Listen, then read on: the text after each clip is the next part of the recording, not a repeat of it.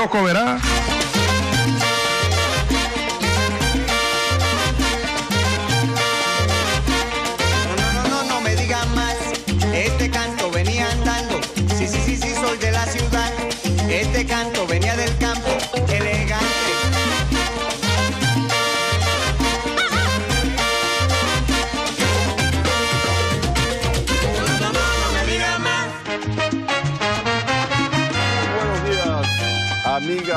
Amigos eh, del kiosco Verás.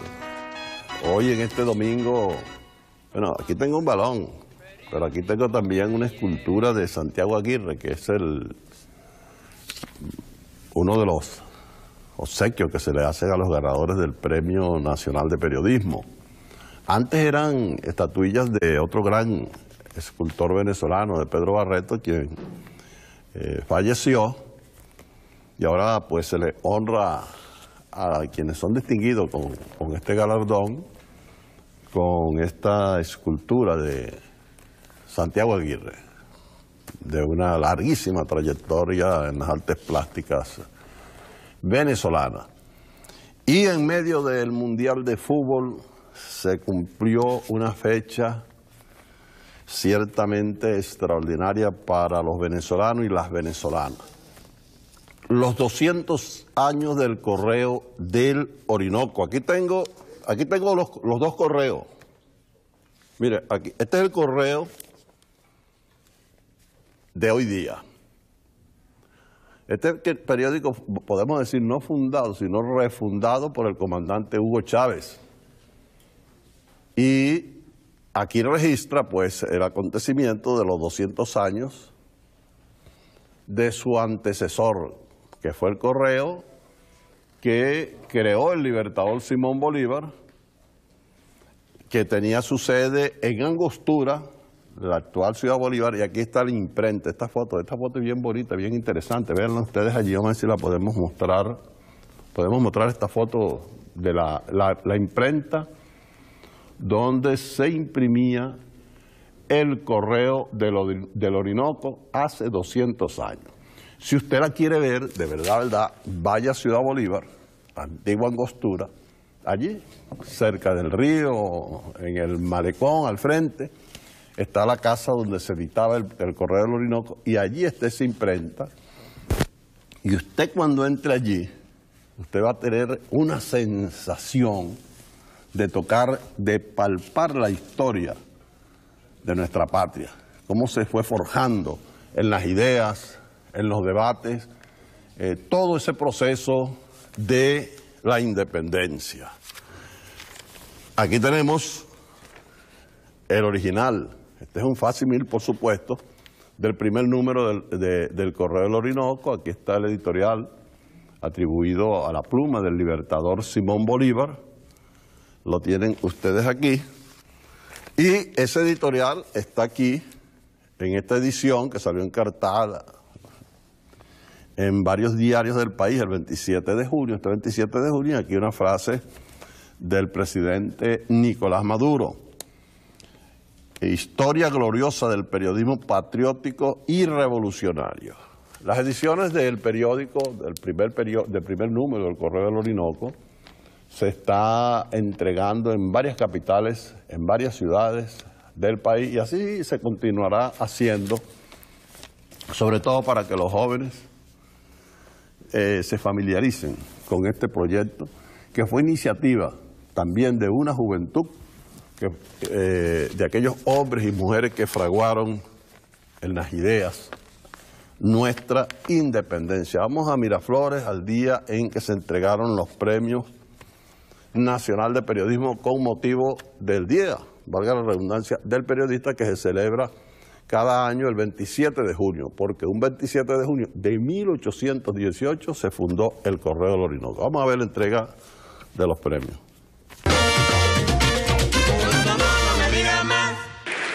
Entrega de premios. Premio Único Nacional de Periodismo Simón Bolívar 2018. Al licenciado, profesor Earle Herrera. En reconocimiento a su amplia y larga trayectoria profesional en los medios impresos y audiovisuales.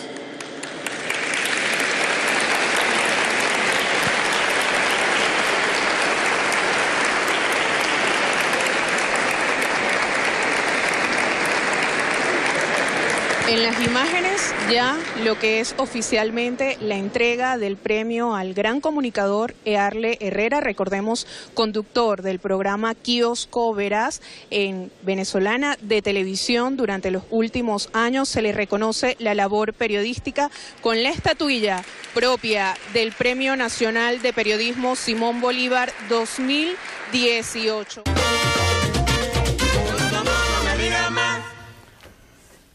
Bueno, dicen conductor del programa El Kiosco Verás, así que ese premio de todo este equipo que hace posible, eh, de los camarógrafos, de los técnicos, de las productoras, que me han ayudado a lo largo de, de más de 13 años haciendo este programa por venezolana de televisión. Pero además, pues, por tantas cosas que uno ha escrito, que sencillamente lo que hemos hecho, como lo repito yo cada rato, al estar escribiendo y al andar con ese escribidero es seguir el consejo de ese maestro del periodismo venezolano que es Cotepa Delgado, quien dijo, escribe que algo queda. Y como algo queda, vamos a escuchar las palabras que este 27 de julio dirigió a los periodistas venezolanos el presidente de la República, Nicolás Maduro. Allí tienen al presidente Nicolás Maduro. Vicepresidente de Economía, Tarek El Aizán, ministros del equipo económico. Hemos venido afinando el programa económico para la estabilización, el crecimiento y la prosperidad. Y cada día que pase vamos a ir tomando acciones macroeconómicas, fiscales, monetarias, tributarias, de precios, de productividad, de producción. Y estoy seguro que este esfuerzo, estoy seguro que los esfuerzos de hoy van a coronar paulatinamente, de manera progresiva, con victorias parciales de una nueva economía. Estoy seguro de eso. Es el gran reto de nuestra generación. Es el gran reto de nuestra revolución.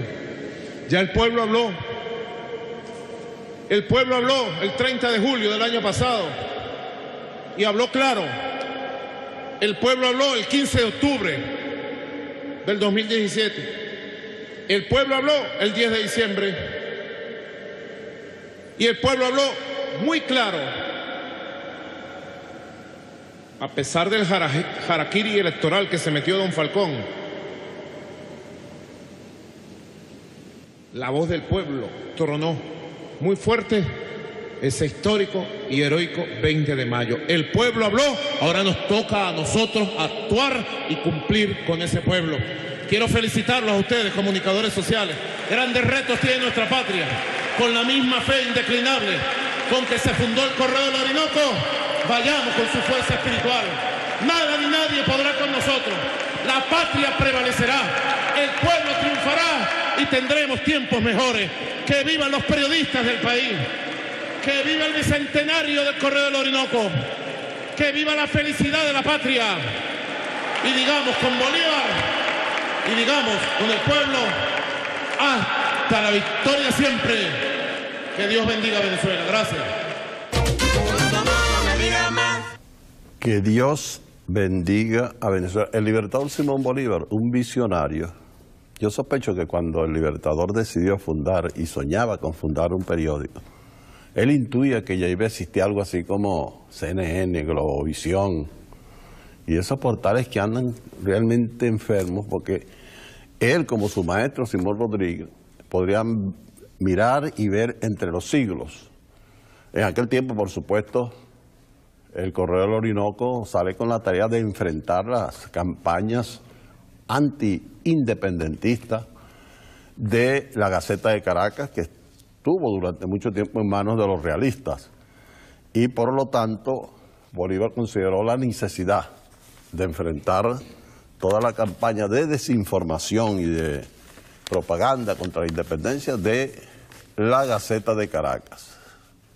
200 años después, dos siglos después, Hugo Chávez, un comunicador nato, refunda el Correo del Orinoco y por eso yo le rindo tributo.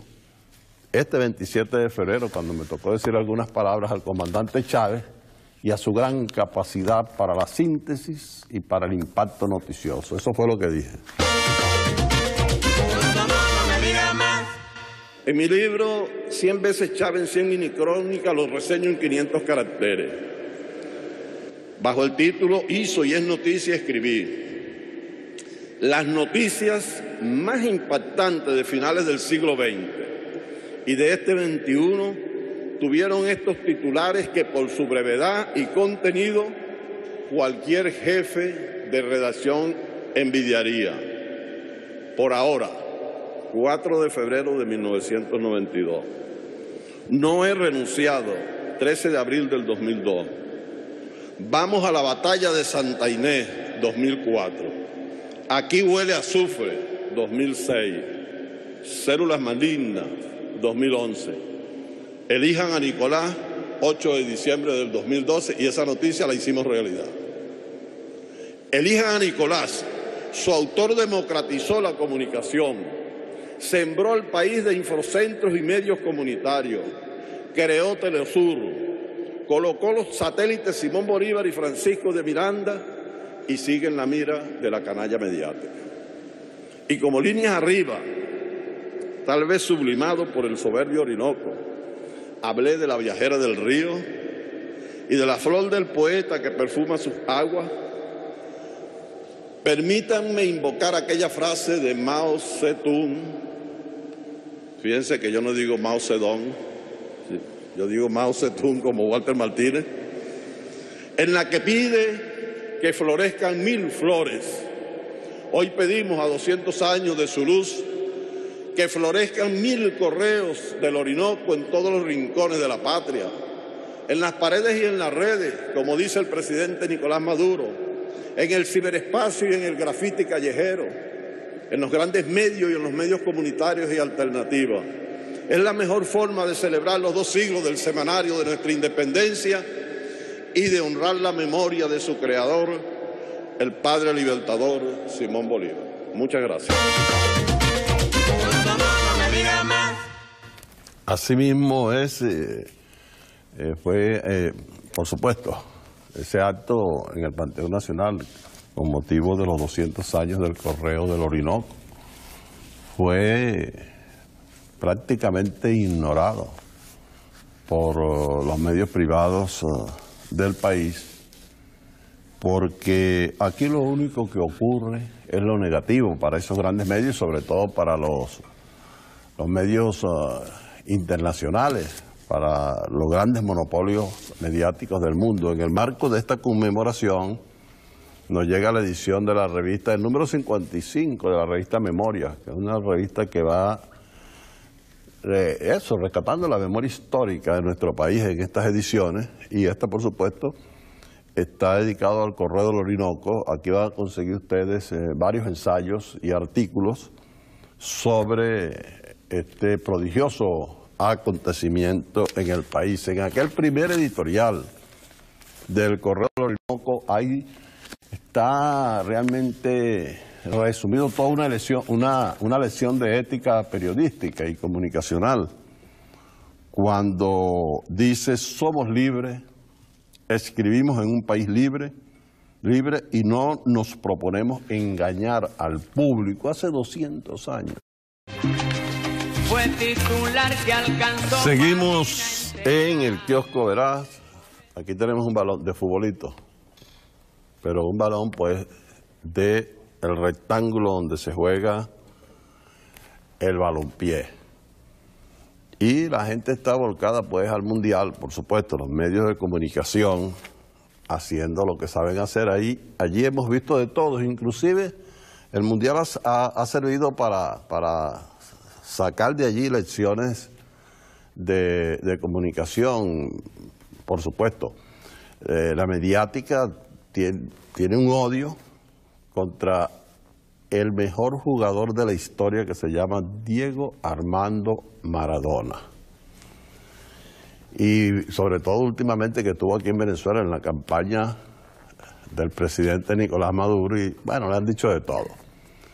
Pero Maradona eh, tuvo un problema en el último partido que estaba de Argentina, tuvo una descompensación, se subió y bueno, y ahí sacaron, sacaron todas las historias, unos lo dieron por muerto, otros dijeron que estaban drogados y el hombre apareció nuevamente. Tranquilo, la misma noche que estaban inventando, hay, hay medios que todavía no lo han resucitado. Y apareció precisamente en su programa con el señor Ronaldo, el gran Ronaldo, le dice Ronnie, el brasileño, que él dice, bueno, si no hubiese sido por las lesiones, hubiese sido el mejor jugador del mundo. Ronaldo fue hasta el Mundial de Brasil el más grande goleador eh, de los mundiales y estuvieron los dos juntos con Víctor Hugo Morales en ese programa que se llama De la mano del 10, que transmite la emisora hermana Telesur. Apareció Diego Armando Maradona vivito, coleando y chutando. Pero allí eh, quedó demostrado otra vez la manipulación de los medios en, eh, un mundial donde eh, ciertamente el deporte debe de ser para la amistad de los pueblos, siempre se trata de, hacer esta cuestión. Después han ocurrido demasiadas cosas allí de racismo, de homofobia, en fin, de, discriminación. Hace poco votaron unos periodistas, esta misma semana, unos periodistas de Telemundo, porque eh, la actuación de Corea permitió que México clasificara y entonces estos periodistas de Telemundo hicieron como para burlarse de los coreanos, se achinaron los ojos con los dedos así, y entonces el medio le dijo, señores, ya ustedes no trabajan más aquí. No vayan a creer ustedes que fue que Telemundo eh, tuvo un arrebato de, consideración hacia los coreanos o que no discrimina, sino que hay unos señores que son anunciantes y que reclamaron. Y esos anunciantes son algo así como la Hyundai, como la Samsung, es decir, las grandes corporaciones coreanas le dijeron, no aceptamos que se burle del pueblo de Corea. No, no fue una cuestión de buena voluntad ni nadie. Entonces, a estos eh, comunicadores, entre comillas, que se la echan de gracioso, le salió una verdadera morisqueta. Eh, hay un país que pronto va ayudar a Venezuela a compartir la campaña de calumnia. Por ahora, dentro de esa campaña, no solo de calumnia, sino de agresión, está Nicaragua. Tienen una guarimba montada allí, 194 muertos, ya para esta fecha debe haber llegado a los 200. Eh, el 60-70% sandinistas, los demás gente inocente, por criminales subvencionados desde la Unión Europea y desde los Estados Unidos. Nicaragua. Pero hay un país que huele a crisis humanitaria, a guarimba, a campaña mediática que se llama México. Porque el candidato de las fuerzas progresistas, López Obrador, pues se perfila como el presidente de ese gran país, el país de Pancho Villa, de Emiliano Zapata, de Benito Juárez, y ya pues le tocará su turno, ya han empezado a agredirlo. Con Venezuela hasta ahora ha tenido una protección. Yo no soy brujo. He estudiado esas cosas con bastante interés, a ver si aprendo algo, pero me es más fácil otros tipos de ciencias. Las ocultas son un poco más difíciles. De todas maneras, hay un dicho que corrió por allí que afirma que el que se mete con Venezuela se seca. Y como dicen que de que vuelan, vuelan, nosotros hicimos un video llamado La Gran Secazón, donde parece que la cosa es cierta. La Gran Secazón o el que se mete con Venezuela se seca. Véanlo allí, persínense por si acaso. Producciones Esotéricas Kiosco Verás presenta La Gran Secazón o el que se mete con Venezuela.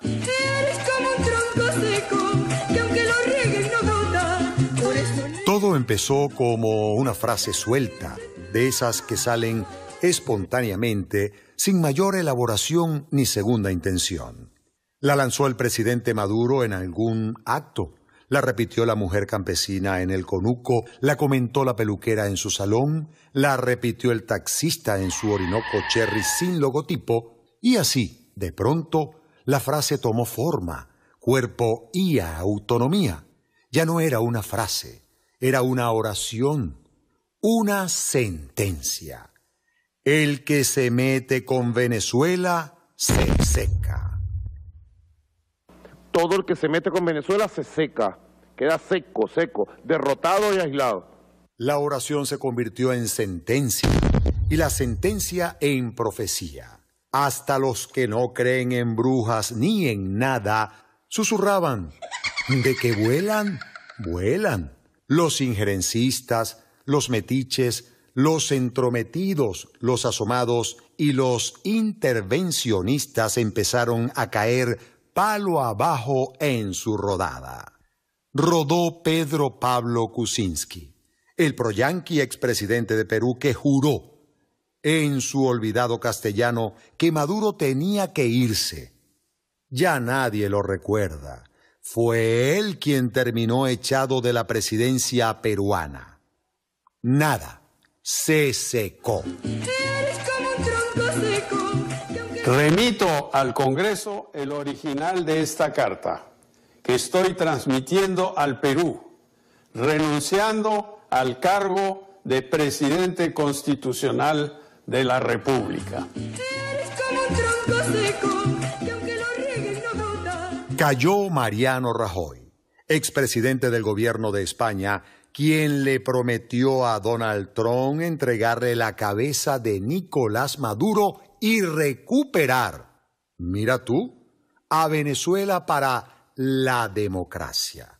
La corrupción de su partido, la de su gobierno y la suya propia lo secaron seco, sequito. En este momento no estoy en condiciones de presentarme a la investidura, porque no solo no tengo todavía una mayoría de votos a favor, sino que tengo una mayoría absoluta acreditada de votos en contra. Se hundió hasta los hombros y no precisamente en el mar de Colón Ricardo Martinelli, expresidente de Panamá. El mismo bichito que arremetió contra Venezuela en todos los foros y en la OEA mientras se llenaba los bolsillos con los reales de los panameños. Le pusieron los ganchos y hoy se seca en una clínica mientras lo espera una celda de barrotes húmedos. Producciones esotéricas Kiosco Verás presentó La Gran Secazón o El que se mete con Venezuela Earle Herrera. Pues sí, y uno, bueno, eso es un espejo de la realidad. En la hermana República de Colombia, con la que tenemos nosotros 2.229 kilómetros de frontera. Por cierto, Colombia nació con ese nombre antes era la Nueva Granada, nada menos que en el propio Congreso de Angostura, un año después de la creación del Correo del Orinoco en 1818, en 1919, el año que viene se van a cumplir los 200 años del Congreso de Angostura, allí nació la Gran Colombia. Y se ha convertido en uno de los países que es una especie de cabeza de playa para la agresión contra Venezuela, algo más que una cabeza de playa, con siete bases militares como dijo Fidel Castro, siete puñales en el corazón de América. El nuevo presidente de Colombia, Iván Duque, con tantos problemas que va a tener que afrontar, va a hacer una gira, ¿sabe para qué? Buscando resolver los problemas de Venezuela, la democracia. Aquí, aquí dice Duque a favor de enjuiciar a Maduro en la Corte Penal Internacional. Duque, él mismo se ha definido como un discípulo de Álvaro Uribe. si se trata de llevar a la Corte Penal Internacional a alguien, debe ser a quienes en Colombia instituyeron la figura macabra de los falsos positivos, que son miles de muertos, y la gente escucha falsos positivos y eso sencillamente eh, fueron sobre todo muchachos de los barrios colombianos, campesinos, que el ejército colombiano se los llevaba, los asesinaba y los presentaba como guerrilleros muertos en combate. Y eso significaba que se aumentaba el presupuesto militar y la ayuda militar que venía desde los Estados Unidos. Parece que te pagaban por la mayor cantidad de guerrilleros muertos que tú eh, llevaras o presentaras. Y resulta que no eran guerrilleros. Bueno, empezaron a matar gente y a presentarlos como insurrectos muertos en combate. Esos son los falsos positivos. El señor Duque, el nuevo presidente de Colombia, debería ponerse a revisar ese asunto porque podría estar siendo cómplice de quienes inventaron y crearon la figura de los falsos positivos en Colombia. Pero en esto de la gran secazón, si, si nosotros revisamos los medios de América y los de Europa, Venezuela es eh, eh, ciertamente como la obsesión. ¿no? Duque acaba de asumir la presidencia y está preocupado por Venezuela. Con más del 50% de pobreza en su país, pues tiene bastante de qué ocuparse. El señor uh, Mike Pence, el vicepresidente de los Estados Unidos, anda en una gira con un tema, una gira por América. El tema es Venezuela. Pence arma callapa contra Venezuela. El presidente de Ecuador afirmó ante el vicepresidente de Estados Unidos que la solución está en los venezolanos. Pero este señor, los Estados Unidos, andan pues tratando de presionar y de convencer a los gobiernos de América Latina de hacerle esa callapa a Venezuela. Y tenemos una información que apareció el viernes en los medios que ciertamente pues dicen las cosas. Esto lo admitieron, por supuesto, esto no apareció en los medios privados venezolanos. Alcalde de Manaus, Brasil, le exigió respetar, eh, perdón, valga la redundancia a Brasil, al señor Mike Pence a los Estados Unidos. Le, le dijo al funcionario de Estados Unidos que no aceptaba intervención ni de broma. Leo. El alcalde de Manaus, capital del estado Amazonas, Brasil, en nuestra frontera, Alto Vigilio Neto, rechazó recibir al vicepresidente estadounidense Mike Pence, quien visitó un centro de acogida para venezolanos en la zona. Él fue a Manaus y que a visitar un centro de, de refugiados venezolanos. En su cuenta de Twitter, Neto le escribió a Pence, respete la soberanía de mi país y del bravo pueblo amazonense. No acepto la intervención militar ni de broma. Por favor, regrese a su casa, subrayó el alcalde brasileño. Neto hizo además un segundo trino donde agregó, el alto comisionado de las Naciones Unidas para los Refugiados reconoció el trabajo de acogida a los venezolanos hecho por Manao. No me trate de enseñar a ser solidario. Los mexicanos pueden hablar sobre el tratamiento que su país le está dando. Eso fue lo que le dijo el alcalde de Manao al vicepresidente Mike Pence. Es decir, quedan demasiadas reservas e, y dignidad en América Latina. Hacemos una pausa y ya regresamos al kiosco Veraz. A mediodía ya noticia confirmada y en la tarde materia olvidada. Tular que alcanzó página entera, por eso ya te conocen donde quiera. Seguimos en el Correo del Orinoco y como ustedes pueden ver, vamos a robarle la frase a los Roberto. Aquí está el balón de fútbol sobre la máquina de escribir. El balón con algunas variantes sigue siendo el mismo. La maquinita de escribir sí que ha cambiado, pero esta máquina ha servido para inspirar eh, las grandes novelas, los grandes relatos, pues se escribieron en maquinitas como estas, unas más viejas, otras eh, más modernas, pero aquí criando. Pompeyo Márquez eh, tenía una frase, Pompeyo Márquez, Santo Yorme, él decía que todo buen revolucionario debía saber manejar una máquina de escribir y hacer pancarta. Pues, eh, pero imagínense, esos eran en los tiempos, y esa era la propaganda de, de la juventud comunista, esa que enfrentó, y de las otras juventudes de los mismos partidos, de la, de la generación del 28. Pues este era el instrumento de lucha y de combate. Estas máquinas, los cuentos que se escribieron, canciones que tenían como protagonista a esta vieja máquina de escribir. Y cuando yo puse el balón aquí, es porque hay también una historia literaria del fútbol. Aquí en Venezuela, cuentos de Pancho Maciani, de Francisco Maciani. Y Eduardo Galeano tiene relatos. Eh, Valdano, que fue futbolista también, ha escrito sobre el fútbol y hay antologías de cuentos, de poemas sobre el fútbol. Hubo un académico de la lengua, creo que se llamaba José María Pemán. Ustedes saben que por los años 60 estuvo aquí quien entonces se consideraba el mejor futbolista del mundo, que era la saeta rubia, Alfredo Di Stéfano. Y Alfredo fue secuestrado por una célula, un comando de las Fuerzas Armadas de Liberación Nacional, comandada en ese momento esa operación por nuestro amigo que murió hace poco, tuvo tanto tiempo preso ahí en el cuartel San Carlos, eh, Máximo Canales. Máximo Canales dirigió esa operación, bueno, y secuestraron a Alfredo Di Stéfano.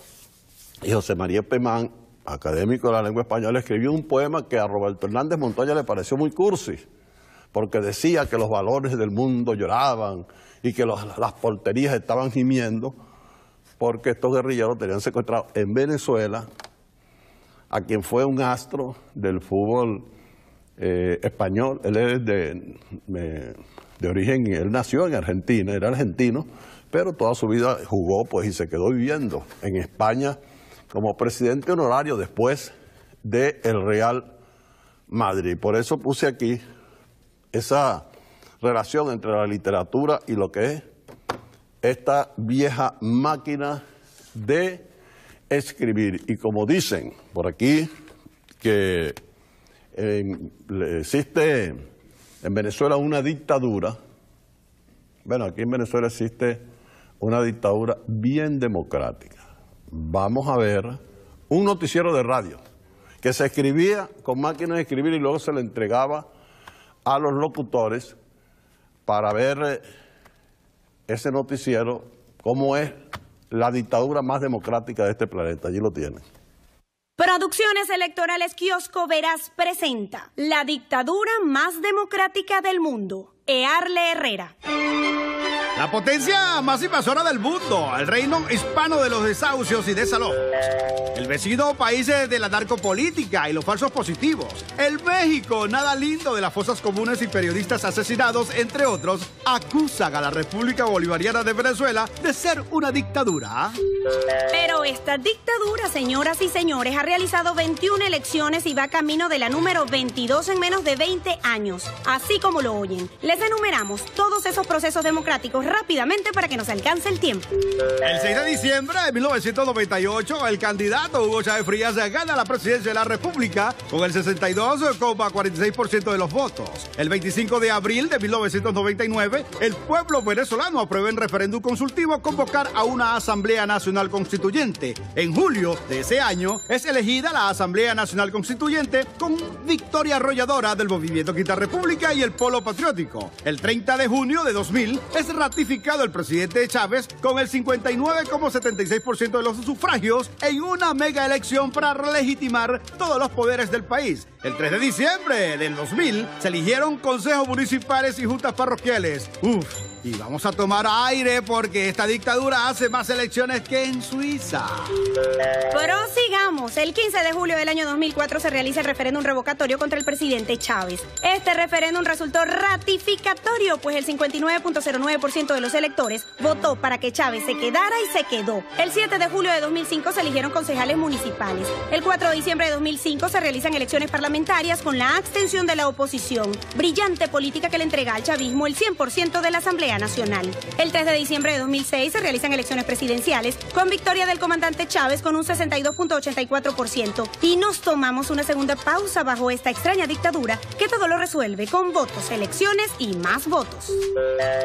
Seguimos, colega. El 2 de diciembre de 2007 se realiza el referéndum para reformar la Constitución. El chavismo sufre su primera derrota, reconocida de inmediata por el presidente Chávez. El 23 de noviembre de 2008 se efectúan elecciones regionales, obteniendo el chavismo 17 gobernaciones y contra 5 de la oposición. El 15 de diciembre de 2009, la opción bolivariana gana referéndum para la enmienda de la Constitución. El 26 de septiembre de 2010, el chavismo obtiene en las elecciones parlamentarias 95 diputados contra 65 opositores. El 5 de diciembre de 2010 se realizan elecciones parciales para dos gobernadores y 11 alcaldes. Dale con el voto que convoca al pueblo. La dictadura que se inventó la tiranía mediática llega así a la elección presidencial el 7 de octubre de 2012. Con una avanzada enfermedad a cuestas después de una titánica campaña admirable, la gana el presidente Hugo Chávez Frías con el 55.25% de los votos. Dos meses después, el 16 de diciembre de 2012, las fuerzas bolivarianas ganan 20 gobernaciones en las elecciones regionales contra 3 de la MU. El 14 de abril del año 2013, un trabajador, Nicolás Maduro Moros, obtiene la presidencia de la República con el 50.66% de los sufragios. El 8 de diciembre de ese año 2013, en unas elecciones municipales a las que la oposición les dio carácter plebiscitario, los bolivarianos obtienen 256 alcaldías y la oposición apenas 76. Pero los chavistas y sus partidos aliados van a sufrir su segunda derrota en las elecciones parlamentarias el 6 de diciembre del año 2015. Sin embargo, año y medio después, el 30 de julio de 2017, se realizan las elecciones para la Asamblea Nacional Constituyente convocada por el presidente Nicolás Maduro. Por segunda vez, la derecha llama la abstención y el chavismo alcanza una histórica victoria con 8.089.320 votos en unos comicios en los que participó el 41% del padrón electoral. Esta es la dictadura más democrática del mundo. Este es el pueblo de Chávez en ejercicio pleno y permanente de la democracia participativa y protagónica. Esta es la República Bolivariana de Venezuela. Producciones Electorales Kiosco Veras presentó la dictadura más democrática del mundo. Earle Herrera.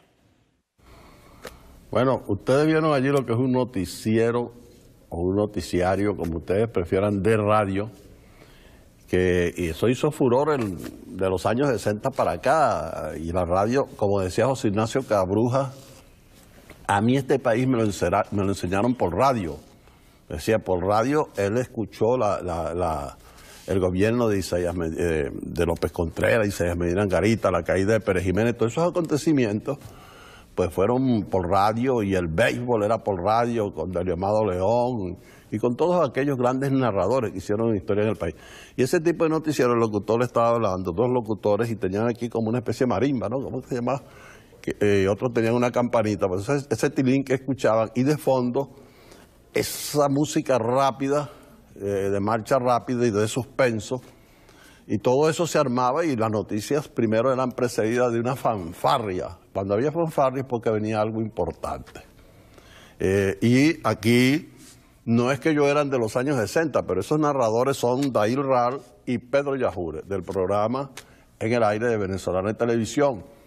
A lo mejor no sé cuál de los dos no había nacido cuando la radio hacía estas especies de noticiarios que primero se escribían aquí, en una maquinita como esta, y se le entregaba. Había una forma de redactar eh, esos boletines que se le entregaban a los locutores, cada uno con su fajo de papel y empezaban a narrar las informaciones por la radio y por, por la radio.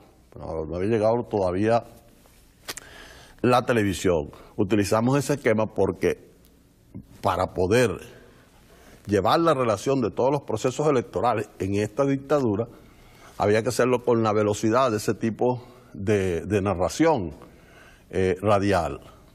Todavía allí faltan las elecciones que hubo luego de gobernadores, de alcaldes y la del presidente eh, Nicolás Maduro, que ocurrieron el 20 de mayo, donde participó un pastor evangélico, por la oposición el señor Henry Falcón, que después dijo que él no había participado, sino que estaba soñando.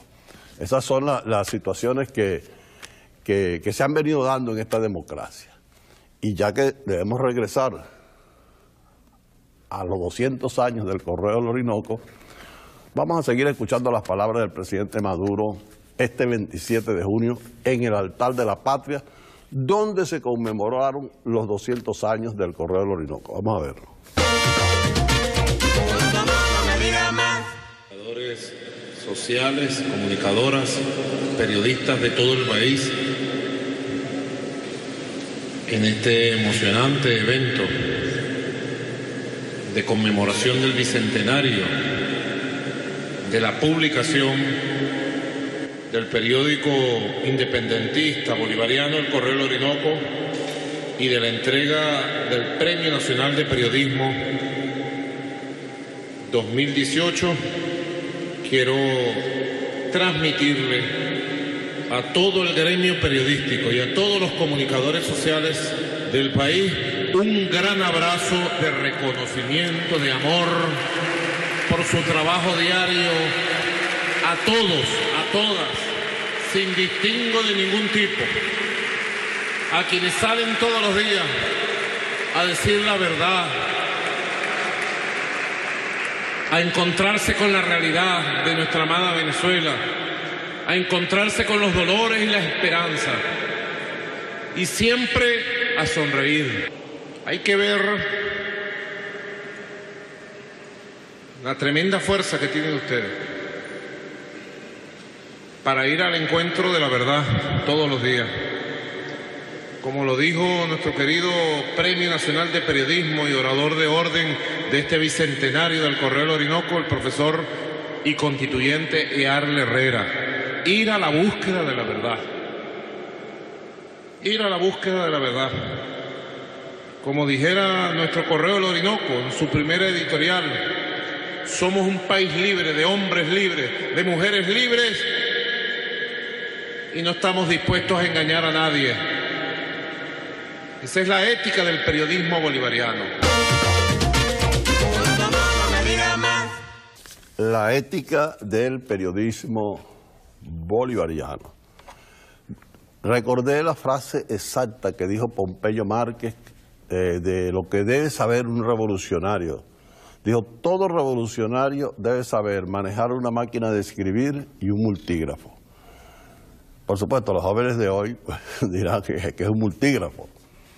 Se hacía la máquina de escribir, se le metía algo que llamaban stencil y luego se llevaba al multígrafo porque era una, imprenta donde se reproducían los textos, pues mucho más avanzada que la imprenta del Correo del Orinoco, pero y también un salto adelante en lo que se llamaba la batea. Todo eso realmente es la sucesión de un proceso que empezó un periodismo de combate con el Correo del Orinoco. Y yo no quiero despedir el programa sin registrar una información que apareció en los diarios sucesores del Correo del Orinoco. Esto no lo va a sacar ni el Nacional ni, ni ninguno de estos medios privados. Aquí dice, Patria para Todos entregó a la Unión Europea carta de rechazo a su injerencia.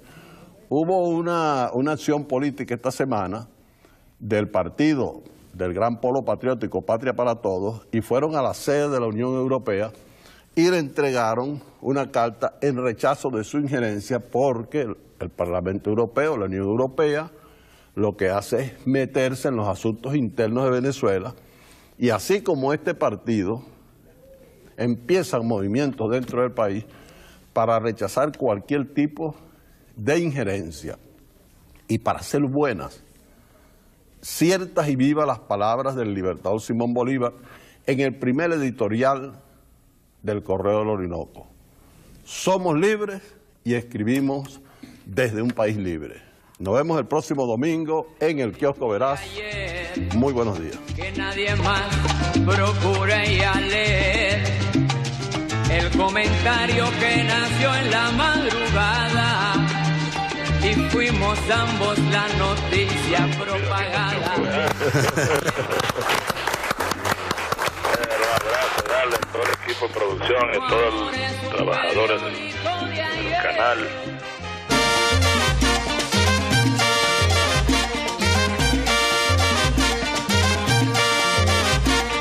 No, no, no, no me digan más, este canto venía andando, sí, sí, sí, sí, soy de la ciudad, este canto...